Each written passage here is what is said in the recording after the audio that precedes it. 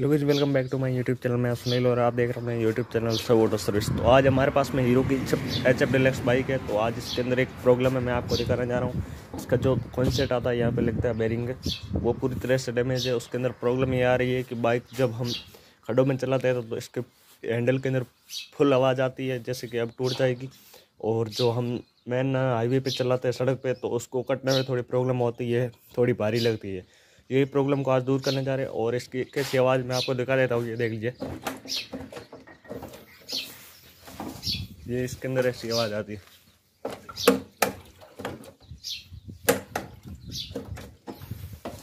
तो इसका क्या किया, मैंने एक बार इसका हैंडल भी यहाँ से टाइट कर दिया, परंतु इसका हो नहीं रहा है। इसके अंदर ये देख लीजिए, यहाँ पे पूरा डस्ट आ रहा है और इसका बेरिंग काफ़ी कट चुका है। तो आज हम इसका पूरा बेरिंग सेट चेंज करने जा रहे हैं।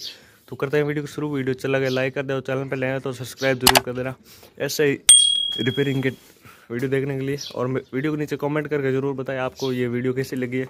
तो करते हैं वीडियो शुरू। तो सबसे पहले हमारे को इसको कॉन्सेप्ट बदलना है। तो इसके अंदर मैंने, मैं इसका पूरा खोल के बदलूँगा। जिससे कि आपको भी जानकारी मिलेगी इस, इसके अंदर कैसा काम हुआ है। और जब हम इस गाड़ी को पूरा आगे से खोल के काम करेंगे ना तो हमारे काम करने में आसानी होगी, तकलीफ़ नहीं होगी। अब कोई कोई कैसे काम करता है? ये जो इसका सोकर वगैरह है, इसको लगे रहने देते हैं और जो ये वाइजर वगैरह इसको थोड़ा बहुत लटका के छोड़ दे तो मैं ऐसा नहीं करूँगा, मैं इसका पूरा पूरा सिस्टम ताम जाम पूरा अलग कर दूँगा। ओनली ये ये इतना हिस्सा बचेगा।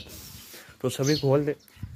तो सबसे पहले हम इसका वायर वाइजर खोल दें और फिर इसके अंदर जो ये मीटर वगैरह है और स्टेम वगैरह पूरा प्रॉपर जो भी चीज़ खुलेगी, सभी खोल के साइड में कर देते हैं। और इसके बाद में मैं आपको दिखाऊँगा इसका बैरिंग किस टाइप से निकाल देते ये तो आपको मालूम ही है किस टाइप से खोलना है। तो हम फटोफट खोल देते हैं और इसके बाद में हम दिखाते हैं आपको बैरिंग के साइड जो उसके अंदर क्या प्रॉब्लम है बैरिंग के अंदर और किस टाइप से मैं चेंज करूँगा। तो देखते हैं।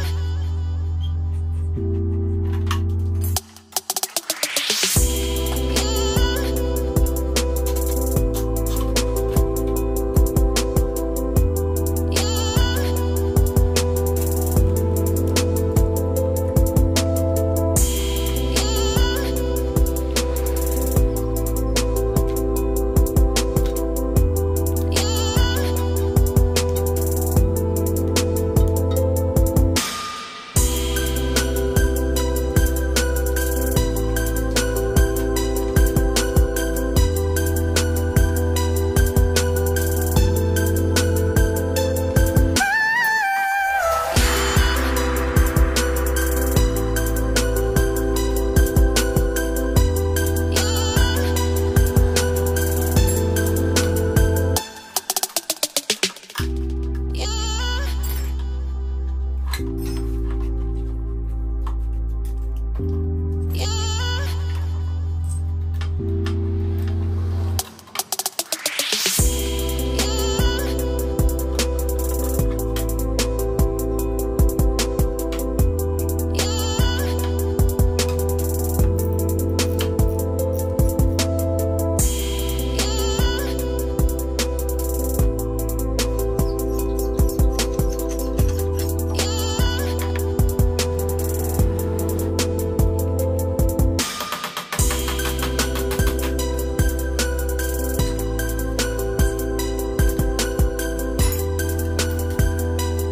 अब पूरा सेटलमेंट खुल चुका। आप देख लीजिए, आपने देखा ही होगा जो इस वीडियो में मैंने थोड़ा फ़र्स्ट मूवमेंट करके बताई क्योंकि मैं इतना जो स्लो में नहीं बोल बोल के बता सकता है क्योंकि टाइम काफ़ी ज़्यादा हो सकता है। अभी भी काफ़ी हो गया है। तो अब हमने पूरा इसका प्रोग्रेस खोल दिया, आपने देखा ही होगा। तो अब हम इस जो ये कटोरी लगती है, अब इस दोनों कटोरियों को निकाल देते बाहर और फिर हम नहीं बिठाएँगे, वो भी आपको इस टाइप से दिखाएँगे कि किस टाइप से इसको नहीं बिठाते। और इसको बाहर निकालने का प्रोसेस जो जो अंदर वाली कटोरी नीचे की लगती है उसको ऊपर से चोट मारे और इसको निकालने के लिए जो नीचे से एक कोई लंबी सी रॉड लेके मारे तो अब ये निकल जाएगी। इसको निकालने में कोई तकलीफ़ नहीं, आसानी से निकल जाएगी। और दूसरी बात है, ये वाली निकालने की कटोरी तो इसको क्या करें निकाल यहाँ पे रखते हैं। तो जब इस चूड़ी के ऊपर पहले से नट लगा के रखें, क्योंकि यहाँ पे चूड़ी ख़राब होने का डर रहता है तो इसके बाद में ये एक चैनी की मदद से निकल जाएगी आसानी से। तो हम निकाल लेते हैं फटाफट इसको भी।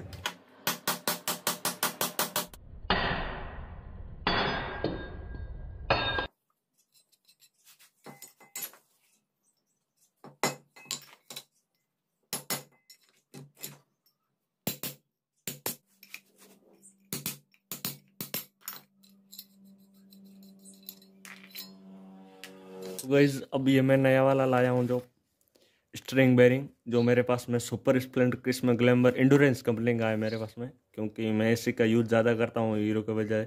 ये भी अच्छा चलता है तो अब इसको खोल देते हैं। इसके अंदर इतने सारी चीज़ें आती है।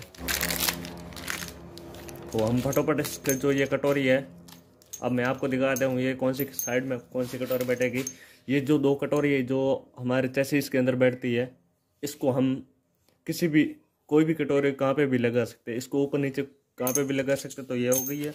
अब ये रही दो कटोरी तो इसके अंदर से जो दो कटोरी है, उसके अंदर आपको एक चीज़ चेक करना है, जो कि ये वाला बात अब जो ये कटोरी है, इतनी बड़ी दिख रही है और ये एक थोड़ी छोटी दिख रही है। ये दिख रहे हो मैं आपको क्लियर दिखा देता हूँ। ये जो इस टाइप से आपको बड़ी कटोरी दिख रही है, और ये ये देख लीजिए, ये छोटी है। ये वाली लगेगी ऊपर की साइड में, और जो ये वाली है, ये नीचे की साइड में लगेगी इस टाइप से, रख के लगेगी। ये भाग है जो खुरदरा वाला लगता है, ये नीचे रहेगा, और ये जो चिकना भाग रहेगा, ये ऊपर रहेगा। तो हम इसको इस टाइप से बिठा देंगे।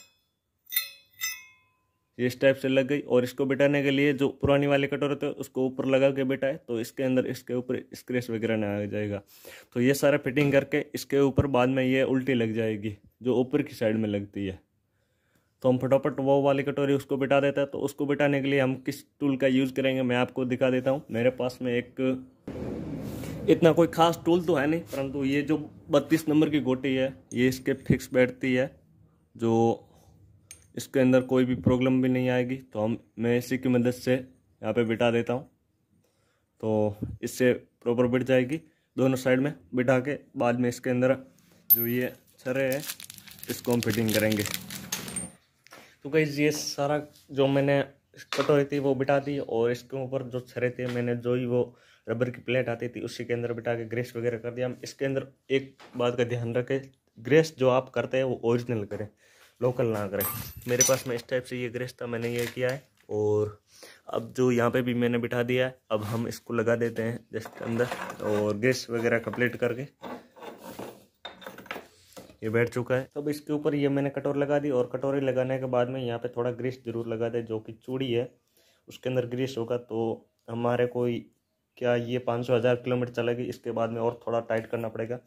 अब चूड़ी के अंदर भी थोड़ा बहुत ग्रीस कर देते हैं हम, और इसी के बाद जस्ट हम इसको बिठा देते हैं। अब इसको धीरे धीरे टाइट करते जाना करते जाना जब तक ये लूज पन है, जो इस टाइप की ये ना मिटे, और इसको ज़्यादा भी टाइट ना करना है, जैसे कि स्टिंग टाइट चले। तो इसको पूरा हम मीडियम साइज़ कैसे करते हैं, मैं आपको दिखा दे रहा हूँ। अब इसके अंदर काफ़ी थोड़ा टाइट बना हो गया तो अब इसको लूज कैसे करें?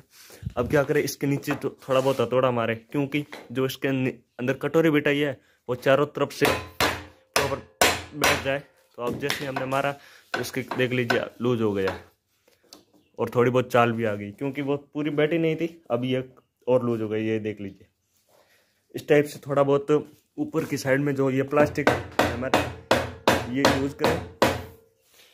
दूसरा हैमर यूज़ ना करें, क्योंकि उसके ऊपर चूड़ी आती हैं। अब देख लीजिए, ना तो कोई आवाज़ है और इतनी भी फ्री प्ले है और बहुत आसानी से वर्क कर रहा है। तो अब हमारे को यही प्रोसेस जो हमने पहले खोला था, वही फिटिंग करना है। तो अब हम जल्दी से इसको फिटिंग करते हैं और इसी के बाद में हम आपको बाइक को तैयार करके बता दें कि कैसा इसका स्टीयरिंग वर्क कर रहा है। क्योंकि हम ऐसे फिटिंग करें, आपको मालूम है फिटिंग तो किस टाइप से करना है। तो क्या वीडियो लंबा हो जाएगा, इसलिए हम जल्दी से इसको फिटिंग कर देते हैं। वेट देख रहे हैं, मैंने अब अब पूरी बाइक को फिटिंग कर दिया ए टू जेड जो जितना खोला था उतना सभी कर दिया, सारी केबलें वगैरह लगा दी है। और अब देख लीजिए आप इसका, काफ़ी स्टिंग सही हो गई है। अब मैं आपको इसकी आवाज़ सुनाता हूँ, कोई आवाज़ भी नहीं है। और इतना भी स्मूथ चल रही है और वर्क रहा स्टिंग ये देख लीजिए, कोई भी आवाज़ नहीं है। अब टायर जो नीचे टिक रहा है कोई भी आवाज़ नहीं है। बिल्कुल भी स्मूथ चल रही है देख लीजिए। ना कोई आवाज़ है। तो करते हैं वीडियो को एंड वीडियो अच्छा लगा तो मेरे को कमेंट करके ज़रूर बताएँ। तो मिलते हैं नेक्स्ट वीडियो के अंदर। Thank you